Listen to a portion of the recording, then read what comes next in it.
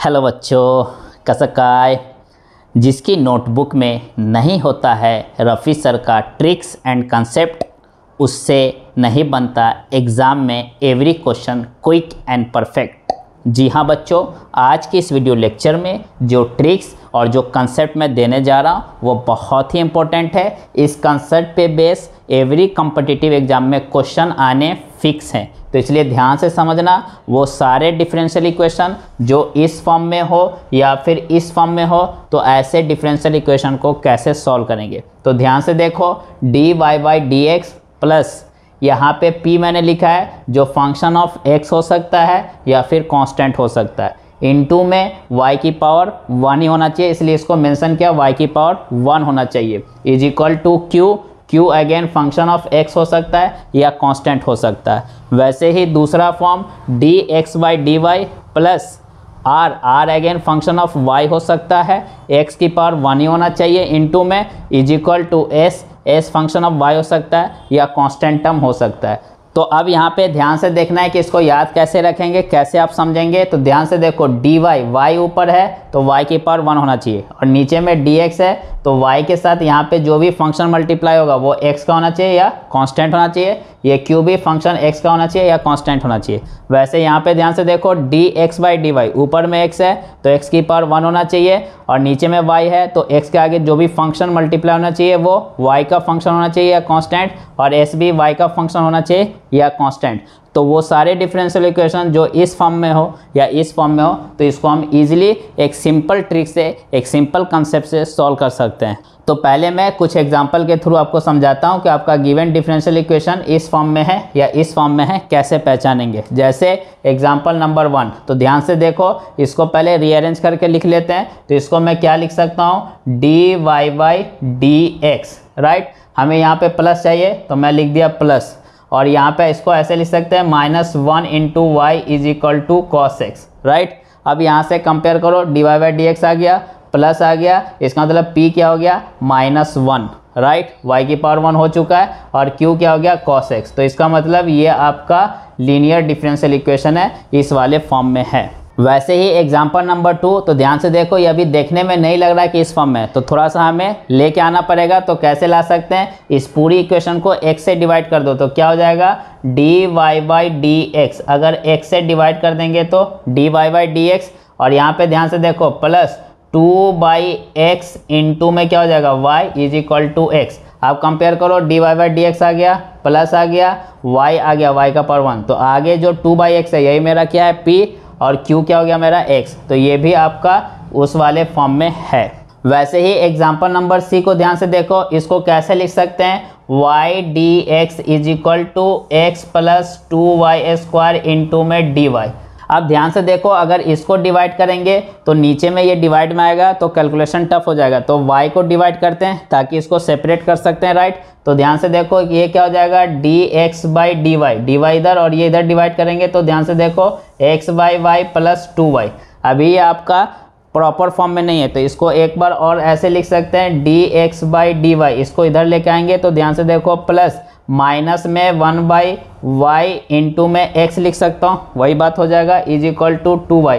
तो अब अगर आप ध्यान से इस इक्वेशन को देखो तो ये आपका इससे मैच कर रहा है। D X by D Y आ गया, प्लस आ गया तो इसका मतलब आर मेरे लिए क्या हो गया? माइनस में वन अपॉन वाई। क्यों? क्योंकि एक्स की पावर वन है, और एस क्या हो गया? Two Y. तो आपको ये चार एग्ज़ाम्पल सफिशेंट है ये समझाने के लिए कि आपको कोई भी इक्वेशन गिवन है तो पहले आपको पहचानना है कि इस फॉर्म में या इस फॉर्म में।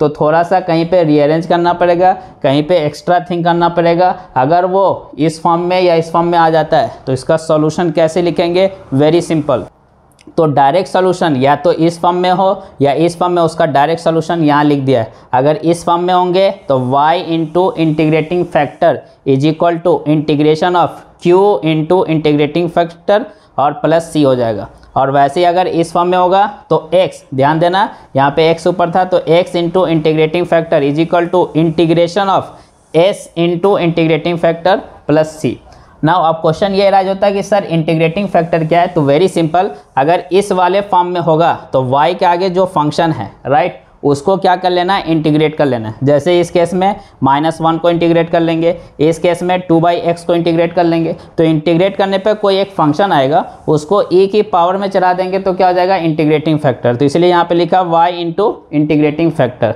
और यहाँ पे ये वाला फ़ंक्शन क्यू जैसे यहाँ पे कॉस एक्स है, उसको मल्टीप्लाई कर देंगे किससे? जो इंटीग्रेटिंग फैक्टर आएगा। और फिर उस फ़ंक्शन का इंटीग्रेशन करना है। इंटीग्रेशन बिल्कुल वैसे करना है जो इंडिफिनिट में आपको बताया प्लस सी तो ये आपका डायरेक्ट सोल्यूशन हो गया इस वाले का। वैसे इस वाले का करना होगा तो x इंटू इंटीग्रेटिंग फैक्टर जैसे इस वाले में ध्यान से देखो तो हमें क्या करना पड़ेगा? माइनस में वन अपन वाई को इंटीग्रेट करेंगे। तो इंटीग्रेट करेंगे तो कोई फ़ंक्शन y का आएगा, उसको e की पावर में चला देंगे तो इंटीग्रेटिंग फैक्टर आ गया। तो x into integrating factor is equal to integration of s, यहाँ पे s कितना है? टू वाई इंटू जो भी इंटीग्रेटिंग फैक्टर आएगा, फिर उसको इंटीग्रेट करना है राइट प्लस सी लिख देंगे तो ये आपका डिफरेंशियल इक्वेशन इस वाले फॉर्म का सॉल्यूशन हो जाएगा। तो अच्छे से समझ लो। अभी मैं इस पर बेस एग्जांपल लेकर के भी आपका और भी कंसेप्ट को क्लियर करता हूँ।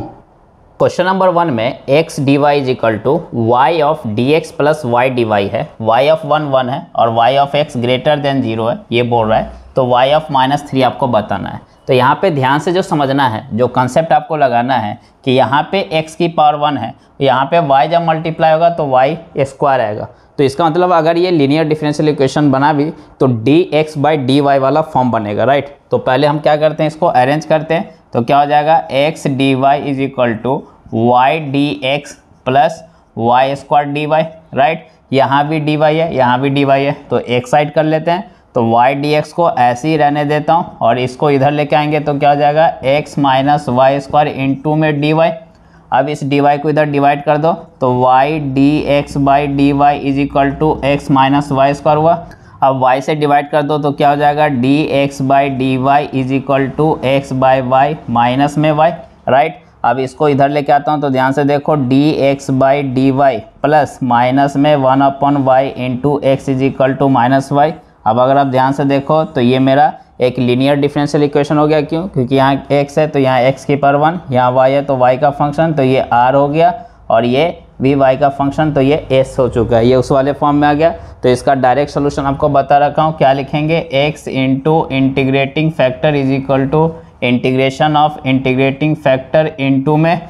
ध्यान से देखो तो ये वाला function that is s d y plus c right अब इंटीग्रेटिंग फैक्टर कैसे निकालेंगे? तो उसके लिए पहले हमने बोला था आर को इंटीग्रेट कर लो। तो integration of minus one by y d y क्या हो जाएगा आपका? माइनस में एल एन वाई तो इसलिए इंटीग्रेटिंग फैक्टर क्या था?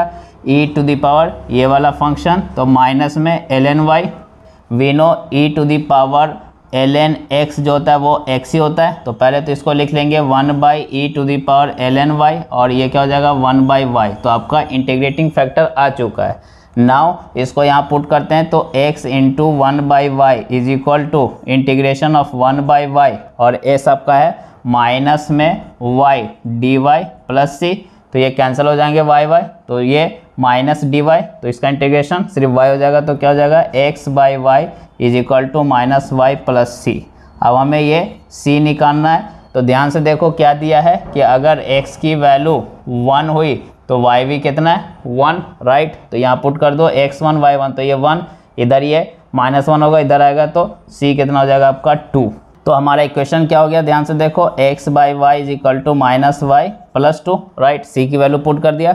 अब जो हमें वैल्यू निकालनी है, वो वाई ऑफ़ माइनस थ्री मतलब एक्स जब माइनस थ्री होगा तो वाई क्या होगा?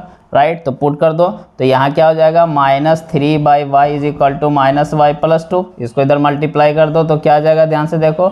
Minus three is equal to minus y square plus में टू वाई इस सबको इधर ले आओ। तो y square minus two y minus three is equal to zero तो यहाँ पे ध्यान से देखो, इसको फैक्टराइज कर देंगे। माइनस थ्री प्लस वन तभी ये माइनस टू आएगा। तो ये फाइनली क्या हो जाएगा? y minus three into y plus one is equal to zero तो यहाँ से सॉल्व करेंगे तो y आ जाएगा थ्री एंड y आ जाएगा माइनस वन बट यहाँ कंडीशन दिया है कि y ऑफ़ x क्या होना चाहिए? Greater than zero that mean positive value लेना है। तो इसलिए y is equal to three so our option will be c that is three question number two में the solution of d x by d y plus x by y is equal to x square है। तो यहाँ पे ध्यान से देखो d x by d y plus इसको one upon y into x is equal to x square लिख सकता हूँ। बट अगर आप ध्यान से देखो तो ये अपने स्टैंडर्ड या प्रॉपर फॉर्म में नहीं है। ये अभी ध्यान से देखो तो यहाँ x तो x की पावर वन तो हुआ, y तो यहाँ फ़ंक्शन ऑफ़ y है, लेकिन यहाँ फ़ंक्शन ऑफ़ x है। यही प्रॉब्लम क्रिएट कर रहा है। यहाँ अगर फ़ंक्शन ऑफ़ y होता तो फिर इजीली इंटीग्रेट कर लेते, या फिर यहाँ पे अगर वन होता तो भी कर सकते थे राइट कोई कांस्टेंट टर्म होता तो यही प्रॉब्लम क्रिएट कर रहा है। तो क्या करेंगे पहले इससे डिवाइड कर देते हैं। तो क्या हो जाएगा? One by x square d x by d y plus, यहाँ पे ध्यान से देखो तो एक एक्स कैंसिल हो जाएगा। One upon x y is equal to one. But अगर आप ध्यान से देखो तो अभी भी ये अपने स्टैंडर्ड फॉर्म में नहीं आया तो इसको लाने के लिए अब मैं क्या करता हूँ, ये जो प्रॉब्लम क्रिएट कर रहा है, वन बाई एक्स, इसको पुट कर देता हूँ टी तो ध्यान से देखना अच्छा प्रॉब्लम है ये। तो वन बाई एक्स को टी पुट कर दिया। अब इसको नीचे में डी वाई लाना है तो इसको डिफ्रेंशिएट करता हूँ। तो क्या हो जाएगा माइनस में one upon x square d x by d y is equal to d t by d y now अब अगर आप ध्यान से देखो तो one upon x square d x by d y की जगह आप क्या पुट कर सकते हैं? माइनस में d t by d y तो यहाँ पुट कर दो। माइनस में d t by d y right और यहाँ पे ध्यान से देखो तो वन बाई एक्स तो हमारा टी हो गया तो ये क्या हो जाएगा? प्लस में t by y is equal to one हो गया। तो अब आप ध्यान से देखो तो इसको स्टैंडर्ड फॉर्म में ला सकते हैं। अब इसमें क्या करते हैं? माइनस वन से दोनों तरफ़ मल्टीप्लाई कर देते हैं तो क्या हो जाएगा? D t by d y plus minus में one upon y into t is equal to में माइनस में वन। यहाँ पे ध्यान से देखो तो देखो यहाँ से टी तो टी का पावर वन, वाई तो वाई का फ़ंक्शन, और यहाँ पे कांस्टेंट टर्म आ गया। तो अब ये स्टैंडर्ड फॉर्म में है इसलिए अच्छा प्रॉब्लम है ये, ध्यान से समझना। तो अब इसका हम कर सकते हैं, पहले तो क्या करेंगे, इसको इंटीग्रेट कर लेंगे। तो इसका इंटीग्रेशन माइनस में one upon y d y का इंटीग्रेशन क्या हो जाएगा माइनस में एल एन वाई राइट तो इंटीग्रेटिंग फैक्टर भी निकाल लेते हैं। इंटीग्रेटिंग फैक्टर क्या हो जाएगा? ई टू दी पावर ये वाला फ़ंक्शन तो माइनस में एल एन वाई इसको लिख सकते हैं one upon e to the power l n y we know कि e to the power log x x ही हो जाता है तो ये क्या हो जाएगा? वन बाई वाई तो आपका इंटीग्रेटिंग फैक्टर आ गया। अब यहाँ पे ध्यान से देखो, ये टी का फ़ंक्शन है तो क्या हो जाएगा? T into integrating factor that is one by y is equal to integration of integrating factor one by y और ये वाला function that is minus one d y plus c तो ये क्या हो गया? T by y is equal to यहाँ पे ध्यान से देखो तो ये क्या हो जाएगा? माइनस में l n y plus c right आप चाहो तो इसको उधर मल्टीप्लाई कर सकते हो। तो ध्यान से देखो तो t इज़ इक्वल टू क्या हो जाएगा? माइनस में वाई एल एन वाई और वाई सी तो यहाँ पे क्या हो जाएगा? One by x is equal to minus में y l n y plus c y right तो आप यहाँ पे ध्यान से देखो तो one by x is equal to c y minus में y l n y. So your option will be b तो इस तरीके से थिंक करना है तो ये एक अच्छा प्रॉब्लम था, जहाँ पे direct linear differential equation form में नहीं है। सब्सटीट्यूशन मेथड से पहले उसको कन्वर्ट किए और फिर उसके बाद सॉल्व किए। तो ध्यान से देखो अच्छा प्रॉब्लम है ये।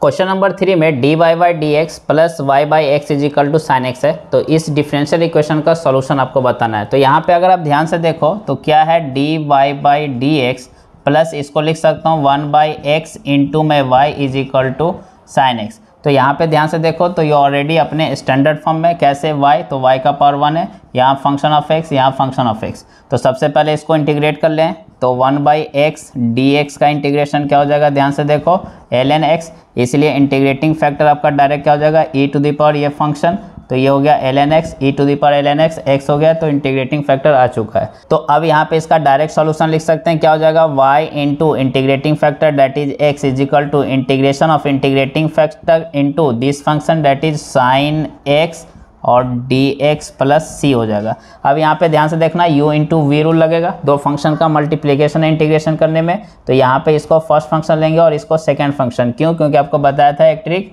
I late I late के अकॉर्डिंग इनवर्स राइट? तो यहाँ पे इन्वर्स नहीं है, फिर लॉगरिथमिक वो भी नहीं है अल्जेब्रिक अल्जेब्रिक फ़ंक्शन को फ़र्स्ट फ़ंक्शन लेना है राइट तो ये लेंगे तो वी नो की integration of u into v क्या होता है?